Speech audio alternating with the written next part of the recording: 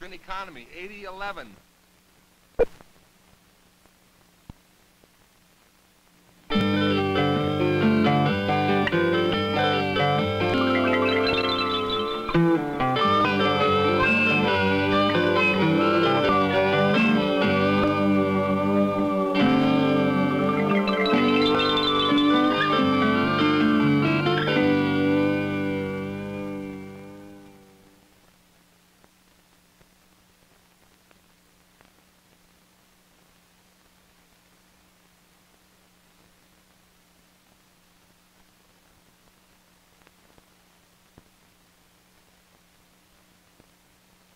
The eminent behavioral scientist Dr. B.F. Skinner sees each of us as wholly determined by our environment. Through evolution, the environment selected the behaviors that survive in our genes, and the social and physical environment shapes each of us in daily life. If you would control or change human behavior, you must control and redesign the human environment. A token economy is applied behaviorism, the theories and principles first formulated in Dr. Skinner's laboratory, put to work in the real world. Token economies and other behavior modification programs are spectacularly successful when compared with traditional therapy techniques. However, Dr. Skinner's critics claim that such controlled environments are manipulative and tend to treat symptoms instead of solving human problems. Dr. Skinner sees these techniques as valuable ways of protecting individuals from mistreatment in situations where compassion has been notably lacking or has failed. There are five great classical examples of mistreatment. The care of old people, old folks' homes, the care of small children who have been deserted by their parents, orphans and that sort of thing, prisoners, psychotics, and retardates.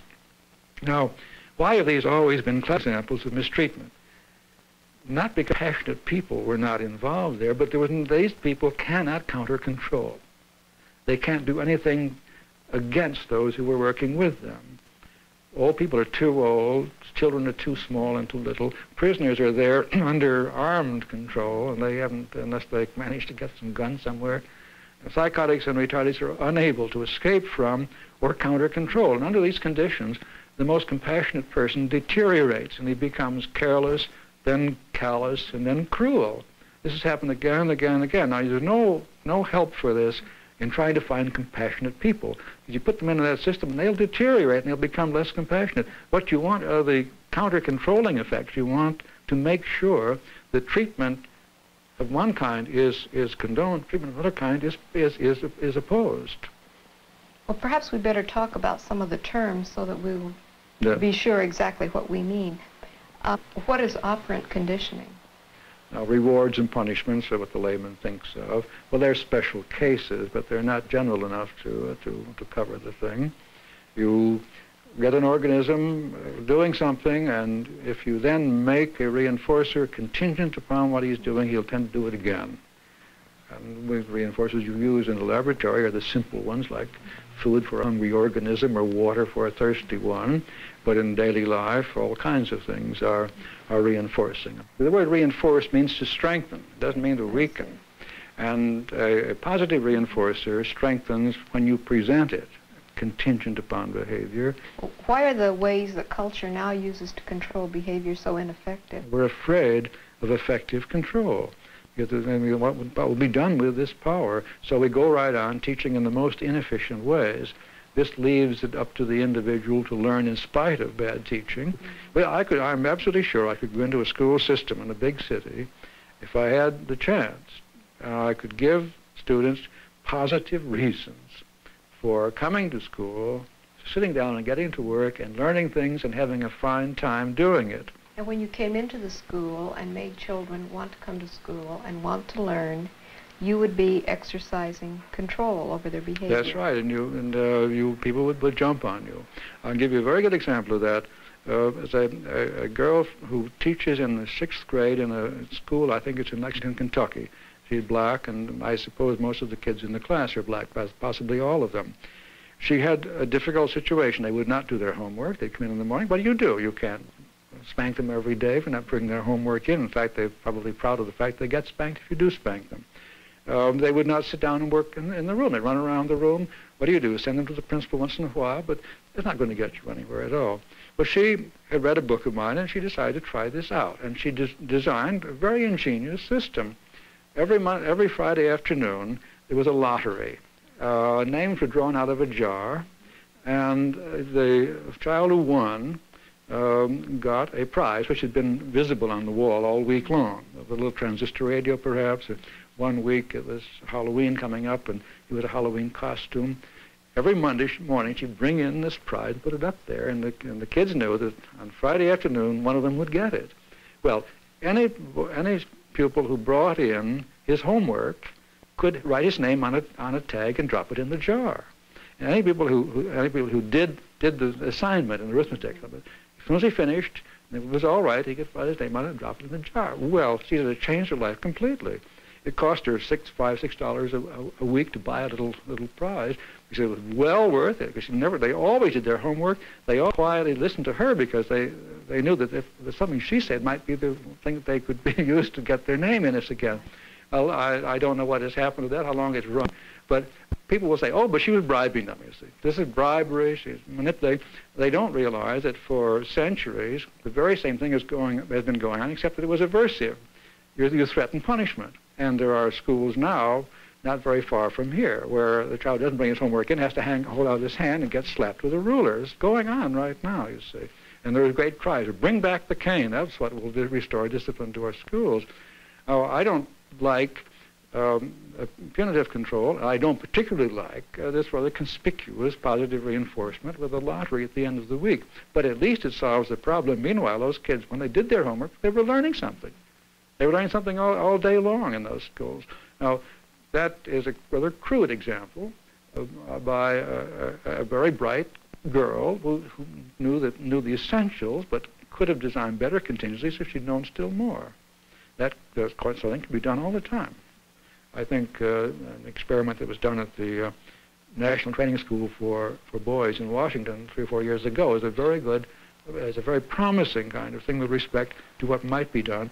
Now that was a token economy, wasn't it? it was, well, it was, it was a credit economy in which um, the, the, boys were able to improve their life in the institution very substantially by learning things, acquiring skills, and uh, and uh, preparing themselves really to live more effectively when they got out. As I understand the way that community worked, they were they could do, choose to do nothing, and they received a minimal standard That's right. If they want, they could go on relief, as the word yes. was. They could sleep on a pad in a dormitory. They could eat nutritious but not very interesting food, and sit around all day. But if they wanted to, to, to earn points, they could get better food, more interesting food, access to game rooms, pool tables, uh, they could buy time off. And Justice Burger recently suggested that prisoners be allowed to shorten their sentences by learning something while they're in prison. And uh, remember that you've got a great reinforcer, a great positive reinforcer with a prisoner. Just give him some time off. So it really takes what you mentioned before, a very careful study of the whole situation. Absolutely. That's all there is. That's all I'm suggesting, is that we look at the various ways in which behavior is controlled and uh, make sure that, that the, these systems are, more effective than they now are. There's no question that we can have better incentive systems, we can have better ways of getting people to behave well.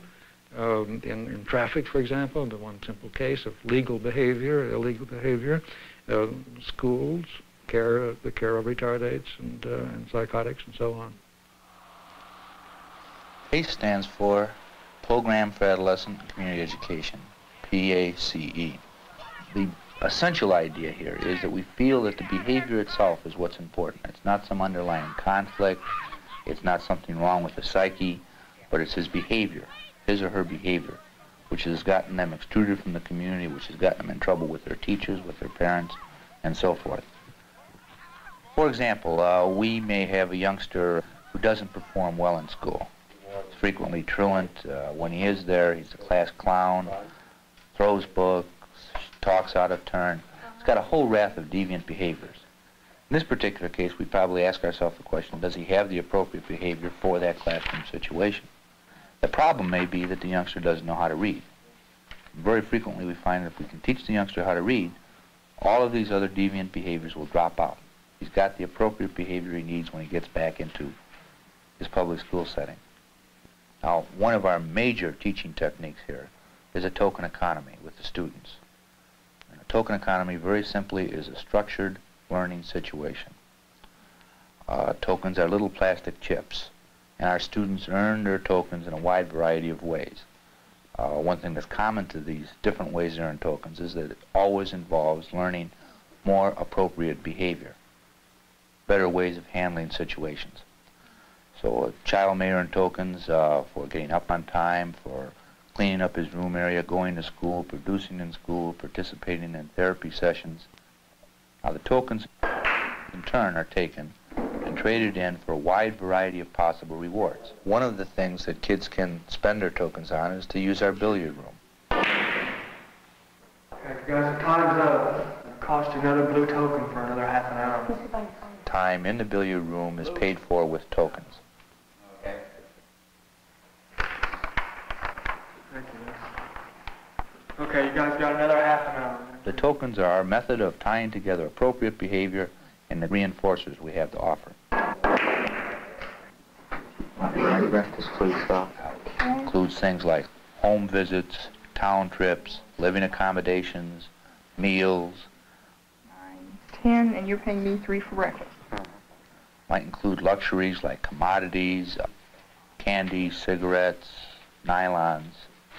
How does this differ from the more traditional approaches that have been tried with teenagers or, or with anybody for that matter? And, and the major difference is this focus upon teaching new, more appropriate behaviors. Okay, a second difference, I think, is in terms of how the staff reacts to the youngsters.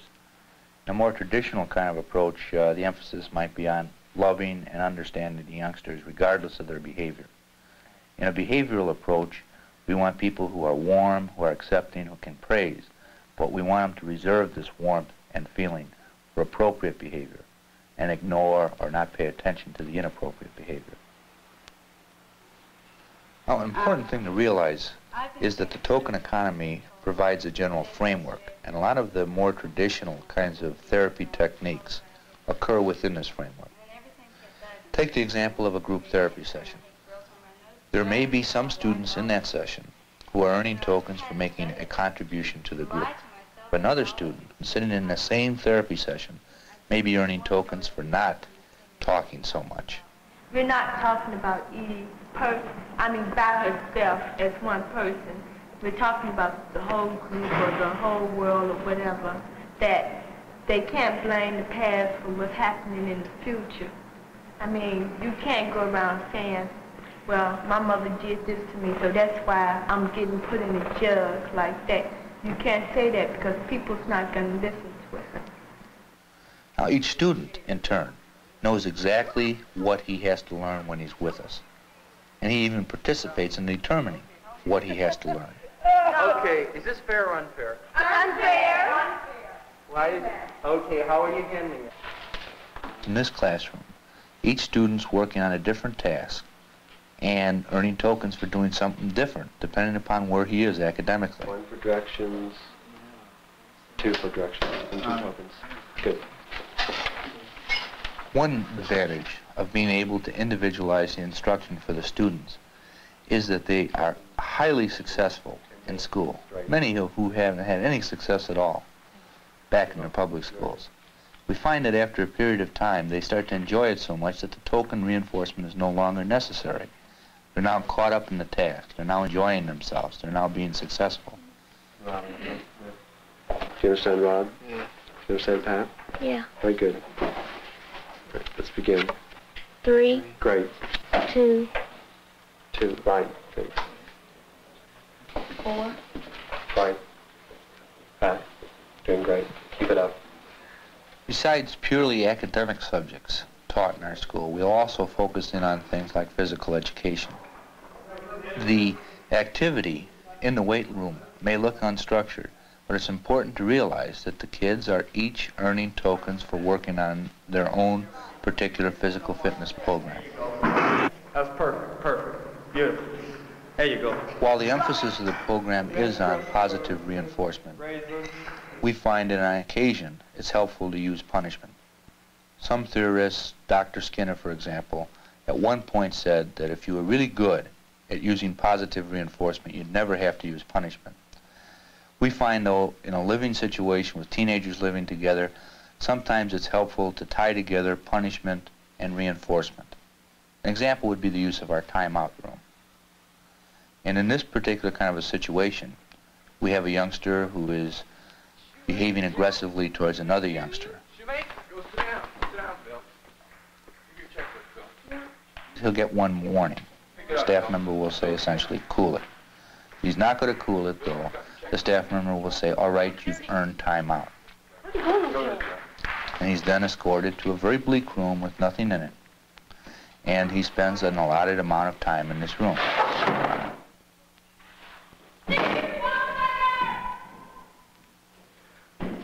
If he calms down and spends a certain amount of quiet time in the room, he then leaves the room. Now when you look at this technically, it really combines three different things. First, there's punishment for the aggressive behavior. Second thing that happens is once he's in the room, if he continues to shout and beat on the door, that continuing aggressive behavior is extinguished, it's ignored.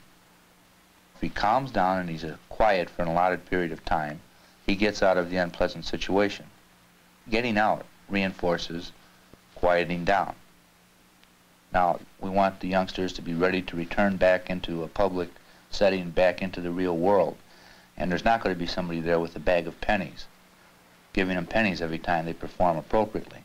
So at the same time that we're trying to uh, get the behavior started and teach the behavior with monetary reinforcement, our tokens, we're also very much concerned with having the students become more responsive to higher levels of reinforcement, like grades, teachers' approval, uh, the enjoyment that comes from being right, say, on an academic task.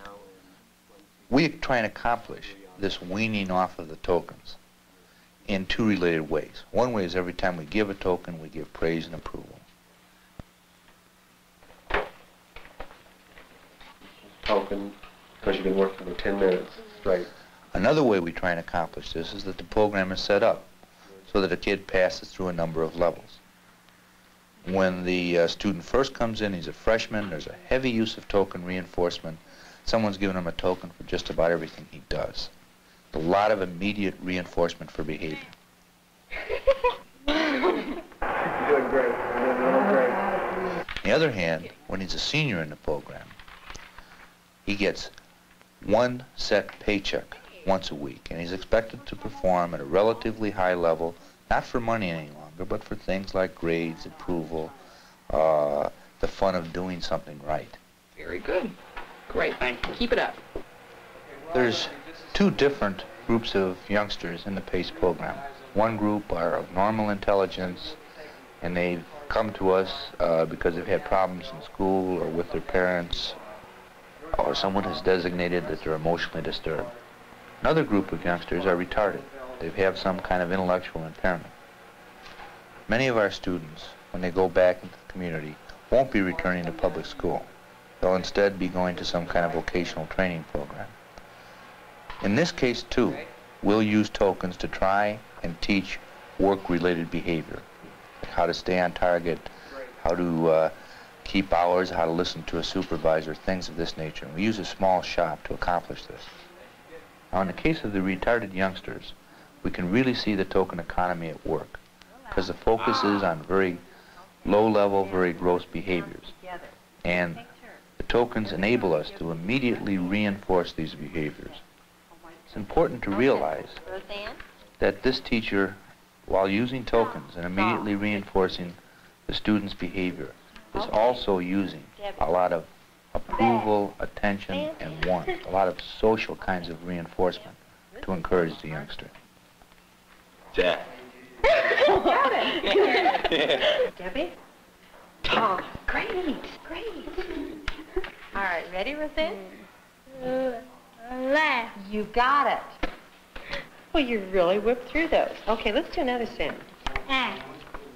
Well, you got it before I even could. yeah. Okay, what is it? Eh. Okay. PACE has graduated around 70 students. Of these 70 students, only six have gotten into trouble again. This means that our repeater rate kids who get in trouble after the program is less than 10%. Now, comparing this to other adolescent programs, the repeating rate is generally as high as 50 and 60%. Our token economy is highly successful